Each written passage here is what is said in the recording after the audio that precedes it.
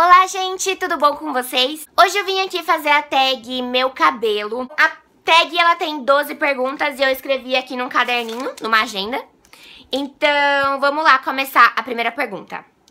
Qual o seu tipo de cabelo? Oleoso, misto, seco ou normal? Uh, eu não sei se é misto ou normal, porque é normal o cabelo ficar oleoso depois de um tempo, tipo, dois dias sem lavar, eu acho.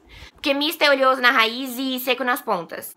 Eu não sei. Eu tô pendendo pro misto e pro normal. 2. Defina basicamente como é seu cabelo natural. Crespo, ondulado, liso, fino, grosso, armado, volumoso, pesado, ralinho. Uh, meu cabelo é isso aqui que vocês estão vendo. Ele é ondulado, a raiz é lisa e as pontas são onduladas. Eu tenho bastante cabelo. Eu tinha muito mais cabelo, eu tinha muito cabelo. Quando eu comecei a fazer mechas e tal no cabelo quando eu era nova, então acho que foi diminuindo, né, a quantidade de cabelo. Agora eu pinto, então ele é pesado também. Ele tem esse peso, mas eu não sei se é por causa do, do tamanho dele. E o tamanho do meu cabelo vai bem pra baixo do meu peito. Se eu alisar, ele vai bem mais pra baixo. Uh, e ele é assim. Meu cabelinho é assim. Uh, onduladinho, pesado, bastante cabelo. E é isso. 3. Qual a cor natural dele? Uh, a cor natural, eu diria que é um castanho médio. Porque não é um castanho claro, quase loiro, e não é um castanho escuro, quase preto. Quando eu era novinha, hum, criancinha, ele era um castanho super claro, pendendo pro loiro, mas nunca chegou a ser escuro. E eu não sei se dá pra vocês ver a minha raiz, mas a minha raiz é a cor do meu cabelo. 4. Você tem alguma química nos cabelos? Além da tintura, não. Eu nunca fiz química de alisamento, relaxamento, botox, nada do tipo. É, eu só fiz coloração há um tempo atrás. Deve ter nas pontas ainda, que eu fiz um ombre há muito tempo atrás. E agora, tintura. 5. Se como mágica pudesse fazer alguma modificação nele, o que seria? Uh, eu tiraria todas as pontas duplas do meu cabelo. É, eu já fiz corte bordado. Eu corto até que frequentemente, mas como o cabelo é muito comprido, é difícil eliminar completamente todas as pontas duplas. Então, vira e mexe eu acho uma e eu tiraria todas as pontas duplas como mágica, se pudesse. 7. Está planejando alguma mudança? Cortar, alongar, colorir e alisar. Uh, eu tô planejando retocar em breve a minha raiz, né? Dá pra vocês verem a raiz aqui da pessoa que tá um pouco grande. E eu pretendo tonalizar também, porque toda vez que eu retoco a raiz, eu tonalizo. Então, só. Mas cortar talvez as pontinhas, mas nada de muito drástico. Oito. Você acha que existe cabelos naturalmente lindos ou acha que é impossível exibir cabelos bonitos sem algum cuidado especial?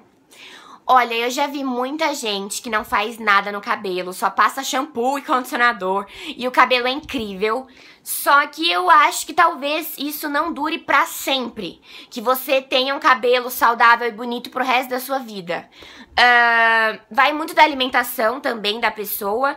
E se ela faz às vezes uma reconstrução, uma nutrição, uma hidratação.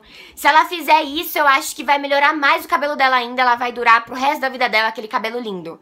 Mas tem gente por aí dos, da minha idade, de 20, 21 anos, que tem cabelo incrível sem fazer nada. 9. Gosta de cuidar dos seus cabelos sozinha ou prefere deixá-los nas mãos de profissionais qualificados? Pra corte, eu morro de medo de cortar sozinha, porque eu acho que não vai sair legal. Acho que vai ter algum problema no meio. Minha coordenação não é muito boa. Então, pra corte eu tenho medo. Pra tintura eu faço em casa. Vocês já viram alguns vídeos. Eu pinto o cabelo em casa.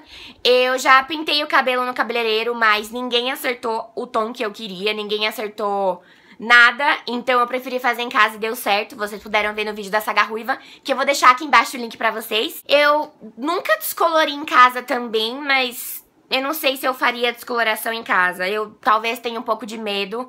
Então, se eu for descolorir o cabelo alguma vez, eu vou fazer no salão. 10. Já teve alguma decepção ou se arrependeu de algo que fez ou fizeram em seus cabelos? Conte. Assim, quando eu tinha uns 9 anos, eu acho, eu cortei meu cabelo Chanel. E eu tinha muito mais cabelo do que eu tenho hoje. E eu não tinha muito se mancou pra saber o que era bom pro meu cabelo. Então eu lavava o cabelo, o cabelo aqui assim, e eu saía no vento. Aí meu cabelo ficava como? Ficava extremamente armado, socorro, leão. E na época eu gostava, eu gostei bastante, mas agora eu me arrependo, vendo as fotos, vendo meus leãozinhos ali, eu fico, uhum. Mas eu acho que além disso, nada que eu tenha me arrependido mais não. 11. Já descobriu algum truque, técnica ou produto que deixa seu cabelo melhor e não costuma abrir mão? Uh, quando eu era loira, eu gostava muito do shampoo roxo. Muito, muito, muito porque ele tira aquele amarelão no cabelo. Mas agora, se eu usar shampoo roxo, anulo vermelho, então, né? Mas agora, algo que eu tenho, né, gostado bastante é o cronograma capilar, que consiste em hidratação, reconstrução e nutrição. Eu acho que a nutrição é a que tem feito mais efeito pra mim. É, reconstrução eu faço sempre depois que eu pinto, assim, o cabelo e tal. Mas na nutrição tem feito muito efeito. E um tipo de produto que eu tenho gostado bastante é finalizadores. Eu acho que tá deixando o cabelo muito bom. É, não, não só silicone, sabe? Produtos sem silicone. Eu acho que tem feito muito efeito no meu cabelo, tem deixado as ondas mais definidas e eu tô gostando bastante. Décima segunda e última pergunta é cabelo inspirador. Minha musa inspiradora de cabelos é a Lua, que ela é uma blogueira peruana que mora em Nova York, que eu amo o cabelo dela, que ela tem um ombre fire. E eu fiz um post há muito tempo no blog falando sobre esse ombre fire e tem 9 milhões de fotos dela. Então eu também vou deixar o link do post aqui embaixo pra vocês. E o cabelo dela é extremamente incrível e, gente, vocês vão ver as fotos. Ela é maravilhosamente linda. Um dia eu espero fazer um cabelo assim, mas eu acho que dá muito trabalho, então é só minha inspiração mesmo. Então é isso, eu espero que vocês tenham gostado dessa tag meu cabelo. Se você gostou, não esqueça de dar um joinha pra mim, se inscrever no canal se você não é inscrito ainda, deixar um comentário se você tiver alguma dúvida sobre o meu cabelo, alguma sugestão de produto, eu vou adorar saber.